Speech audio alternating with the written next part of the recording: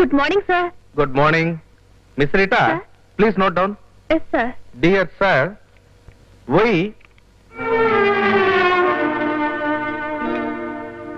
miss Rita ఇది office అనుకున్నావా? Fashion period అనుకున్నావా? లుక్ మిస్ రీటా ఆడపిల్ల ఒంటి నిండా బట్టలు వేసుకుంటే కంటికి ఇంపుగా ఉంటుంది. కానీ నువ్వు వేసుకున్న బట్టలు చూస్తుంటే కంపరం వేస్తుంది. వెంటనే ఇంటికెళ్ళి మంచి బట్టలు మార్చుకునిరా వెంటనే ఇంటికెళ్ళి ఒంటి నిండా బట్టలు మార్చుకోమని చెప్పేది నీకే. వెళ్ళ. Get good morning madam morning good morning madam very good morning hi Rita ఏంటి అలా ఉన్నావు? కొత్త మేనేజర్ ఏమైనా అన్నాడా?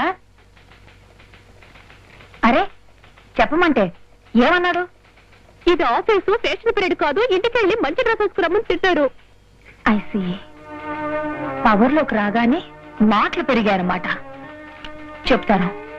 ఇప్పుడే మంచి గుణపడం చెప్తాను. నాతో రా. మేడం. రమ్మంటే come on. Okay sir. We will deliver one lakh cottons by end of this month sir okay sir thank you sir? శభాష్ ఈ డ్రెస్ చాలా బాగుంది. ఇప్పుడు గౌరవప్రదమైన కుటుంబం నుంచి వచ్చిన ఆడపిల్ల ఉన్నావు మరి నేను?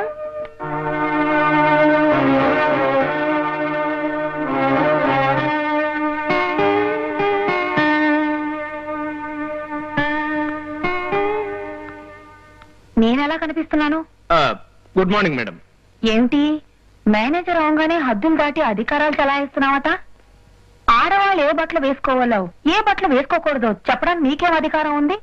రీటా నీ డ్రెస్లో చూసి ఆఫీస్ నుంచి బయటకు వెళ్ళమన్నావట? ఇప్పుడు ఈ డ్రెస్ నేను వేసుకొచ్చాను. నన్ను కూడా ఆఫీస్ నుంచి బయటకు వెళ్ళమంటావా? నో మేడం రీటా నా సబార్డినేట్ కాబట్టి ఇంటికి వెళ్ళమన్నాను. మీరు నా బాస్. నేను మీ సర్వెంట్ని యజమాని ఏం చేసినా నౌకరు ఏమిటి అని అడగకూడదు. ఫర్ ఎగ్జాంపుల్ ఇప్పుడు మీరు డ్రెస్ విప్పేసినా నాకేం అభ్యంతరం లేదు Stupid. చమ్మలక్కడి చెల్లి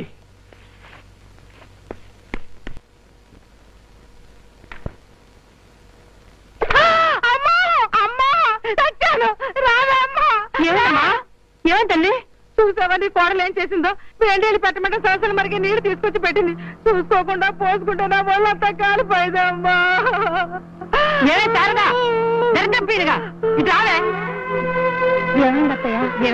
నీకే పోయే కాలం వచ్చిందే? నా కూతురు ఒళ్ళు కాల్చి చంపాలనుకుంటున్నావా? ఈ నీళ్ళలో చేయి పెట్టి చూడవే. నీకే తెలుస్తుంది? ఏది కాదే?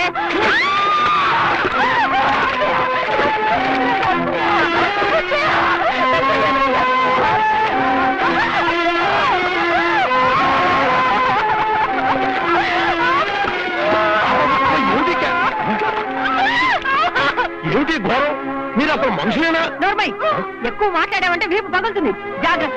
కానివ్వండి. అది కానివ్వండి. ఆ రోజు చన్నీళ్ళు తెస్తే రోగం వచ్చి చావాలా అని ఆమెను చావబోతారు. ఈ రోజు వేడి నీళ్ళు తెస్తే కాల్చి చంపాలని చూస్తున్నావా అని ఆమె చేయి కాల్చారు. ఇంతకన్నా ఆవిడ పేక పితికి ఒకేసారి చంపేయచ్చు కదా. ఏ? వేణీళ్ళు తన్నీళ్ళు కలిపి తెచ్చి తాపగా చల్లని వెన్ని కలపాలి వేడి వెన్ని కలపాలి కొలతలు చెప్పు. చల్లగా తెచ్చినా చొచ్చుతావు. వేడిగా తెచ్చినా చొచ్చుతావు. సేవలు చేస్తే సరిగ్గా చేయలేదని ఏడుస్తారు. చేయకపోతే చేయలేదని ఏడుస్తారు. బందిపోటు దొంగల ముఠా నుంచి తప్పించుకొచ్చిన బ్యాచ్ వేరిద్దరు మీరు నోరు మూసుకోకపోతే మూత పారపడతాను ఆ పని చేయి. మాట్లాడే అవసరం ఉండదు. వాచిన మూతి అందరికీ చూపిస్తూ మీరు ఇంటర్వ్యూకి చేసిన మర్యాద ఇది అని అందరికీ చెప్తాను. మీరు వెళ్ళండి ఇక్కడి నుంచి. ఈ రొంపులో ఉండే కంటే చావడం నయం. ఏమిటి? నోరు లేస్తుంది ఇంకా నయం. చెయ్యి లేవలేదు. సంతోషించండి. నోర్మై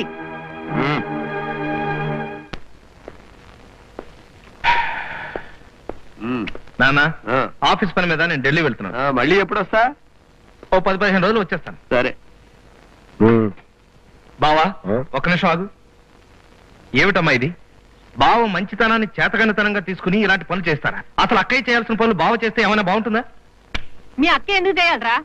మీ వదిన గారు మహారాణిలా కాలు మీద కాలు వేసుకొని కూర్చోకపోతే ఆవిడ గారు చేయొచ్చు కదా? ఆవిడ గారికి పక్షవాత వచ్చి కాళ్ళు చేతులు పడిపోయాయా. గోపి ఈ పనులన్నీ నేనే కావాలని చేస్తున్నాను. ఎందుకంటే సిస్టర్కి చెయ్యి కాలిందిగా. వదిలికి చెయ్యి కాలిందా? ఆ. వదినా? వదినా? వదినా? Oh my god. చెయ్యలా కాలింది వదినా? అయ్యో జ్వరం కూడా వచ్చింది. చెప్పొదినా చెయ్యాల కాలింది? అదేం లేదు గోపి. వేడి నీళ్ళు స్టవ్ మీద నుంచి దింపుతుంటే చేయి జారింది అంతే. కాదు బాబాయ్ అమ్మ అబద్ధం చెప్తుంది. నానమ్మ అమ్మ చేతిని గట్టిగా పట్టుకుని వేడి నీళ్ళలో ముంచింది. అమ్మని కొట్టింది కూడా. ఎందుకన్నయ్య అరుస్తావు? రోజు రోజుకి ఈ కొంపలో ఆగడాలు శృతిమించిపోతున్నాయి అందరూ కలిసి వదిని కాల్చుకు తింటున్నారు. ఎందుకు లేని ఊరుకున్న కొద్దీ రాక్షసుల్లో తయారవుతున్నారు. గోపి అదంతా నీకు అనవసరం. వెళ్ళి నీ పని నువ్వు చూసుకో. నా పని నేను చూసుకుంటాను. నువ్వు మాత్రం నీ భార్యను చిత్రహింసలు చేస్తున్నా పట్టించుకోకుండా కనీసం డాక్టర్ దగ్గర తీసుకెళ్ళాలన్న ఇంగిత జ్ఞానం కూడా లేకుండా హాయిగా విశ్రాంతి తీసుకో. గోపి నువ్వు ఊరుకో గోపి. ఎలా ఊరుకోమంటావు వదిన? కళ్ళ ముందు ఇంత ఘోరాలు జరుగుతుంటాయి. వస్తున్నా నాన్న. పదనా హాస్పిటల్కి వెళ్దాం. వద్దు గోపి అదే తగ్గిపోతుంది. ఏ ఎందుకొద్దు?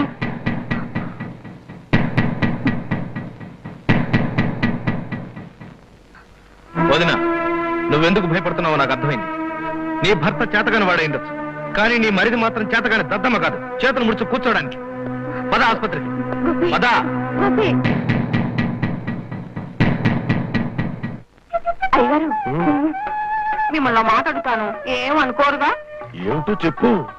మీరేమన్నా అనుకుంటారు? అనుకోవడానికి ఉంది పాలల్లో నీళ్ళు కలుపుదాం అనుకుంటున్నావా? కలిపే ఈ ఇంట్లో అంతా కల్తీ మనుషులే. ఏం పర్వాలేదు. అది కాదండి. మరి ఏమిటో చెప్పు. ఒకసారి తుమ్మండి. తుమ్మాలా? తుమ్మితే నీ చీర ఊడిపోతుంది. అందుకోసమేనండి తుమ్మమంటుంది. మీరు తుమ్మడం నా సీరుటిపోవడం ఎంత సరదాగా ఉంటుందో తెలుసా? ఏమిటి ఉంటుందా ఈ విషయం మా ఆవిడికి తెలిస్తే నిన్ను నన్ను చావు కొడుతున్నా. వెళ్ళి వెళ్ళి. అబ్బా అమ్మగారు ఇటు రారులేండి. ఓసారి తుమ్మండి. నేను తమ్మను. తుమ్మండి. నేను తమ్మను. తుమ్మరా? మీరు గనక తుమ్మకపోతే తాటి పిలిచి అసలు ఎత్తుకున్నారని అమ్మగారు చెప్తాను అమ్మోయ్ ఇది ఎక్కడ సరదా. చీర ఊడిపోవడం సరదా ఏంటి? తుమ్మండి. తుమ్మరా. అమ్మగారు. ఉండదు తప్పుతున్నా? రాసుకో.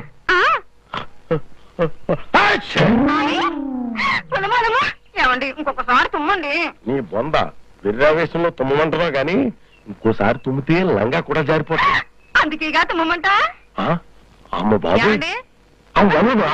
త్వరగా తిరగట్టుకో ఏమిటి? తుమ్మేశారా? ఆపుకుందాం అనుకున్నాను. ఆగలేదు. ఇక మీతో పాలు నేనే పోయించుకుంటాను. పోవే. మీకు అసలు బుద్ధి జ్ఞానం ఉందా? తుమ్మొస్తే ఆపు కావాలి కానీ పాలమ్మ ముందు తుమ్ముతారా? అసలు మిమ్మల్ని చెప్తున్నాను. ఆగిపో. లేకపోతే ఆగదు. మరి అది చెప్తున్నాను ఎందుకు చెప్తున్నాను ఆలోచించు. తప్పు నాశనం అయిపోను. ఏమిట్రా? ఉడిలిపోయిన తోట కూరగాళ్ళగా మొహం వేలాడేసుకుని వస్తున్నావు? ఏమైంది. ఏం లేదు నాన్న. జీవితంలో పైకి రావాలని ఎన్నో ఆశలు పెట్టుకున్నాను. కానీ నా దురదృష్టం ముందు నడుస్తుంటే నేనేం చేయగలను? ఏం చెయ్యాలో మీ అమ్మ చెబుతుంది. అసలు ఏం జరిగిందో నువ్వు చెప్పు. ప్రమోషన్ వస్తుందని చెప్పానా? ఆ ప్రమోషన్ కోసం కొంతమంది ఆఫీస్లో జిఎం కి ఐదు వేలు లంచం ఇస్తానని ఆఫర్ చేస్తున్నారు. అంత మాత్రం దానికి ఎందుకు బాధపడతావు? అందరూ ఐదు వేలు ఇస్తానంటే నువ్వు పదివేలు ఇస్తానని చెప్పు. ప్రమోషన్ కొట్టి. ఆ.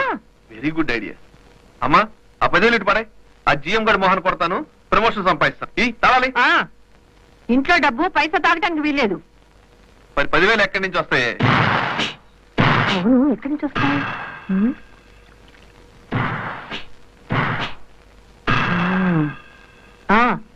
శారదా వాళ్ళ పుట్టింట్లో డబ్బు తెగ మూగుతుంది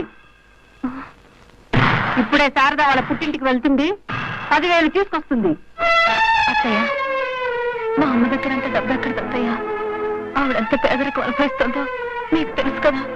నార్మల్ ఆ డబ్బు మా కోసం ఏమన్నా అడిగా ఆ డబ్బు తెస్తే నీ మొగుడు జీతం పెరుగుతుంది నువ్వు సుఖపడతావేమోనని. అత్తయ్య మా అమ్మ తన్ని పోషించుకోవడం కోసం కూలి పని చేసుకుంటుంది అత్తయ్య. కథలు చెప్పకే. ముందు మా అమ్మ చెప్పినట్టు చెయ్యి. వెళ్ళు. మీ ఇంటికి డబ్బు తీసుకురా. వెళ్ళు. అత్తయ్య నా మాట నమ్మండి అత్తయ్య.